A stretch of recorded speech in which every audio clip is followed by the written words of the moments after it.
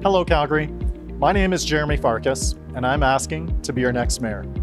One of my campaign promises is to reduce City Council's secret meetings. If elected mayor, I'll work to adopt an open meetings rule to increase the amount of city business that is done out in the open. Calgary City Council spends far too much time in secret meetings and behind closed doors. As taxpayers, you deserve to know how your money is being spent. I'm pushing to track Council's time spent behind closed doors as well as provide clear rules on what types of discussions are permitted, such as security arrangements or legal advice. I'll also work to provide citizens the means to challenge closed-door meetings and put a time limit on how long documents can be kept confidential. Whether it's the failed Olympic bid, the new arena deal, or many other issues, I've fought hard over the past four years for transparency for taxpayers. Calgarians are ready for change, and change starts now.